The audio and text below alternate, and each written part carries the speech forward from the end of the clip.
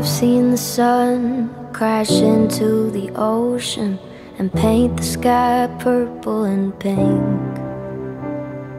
I've seen a star shoot out of the night and burn up before I could blink. Snowflakes and diamonds, daisies and lightning, we'll never take it all in. So why do we close our eyes when we pray, cry, kiss, dream?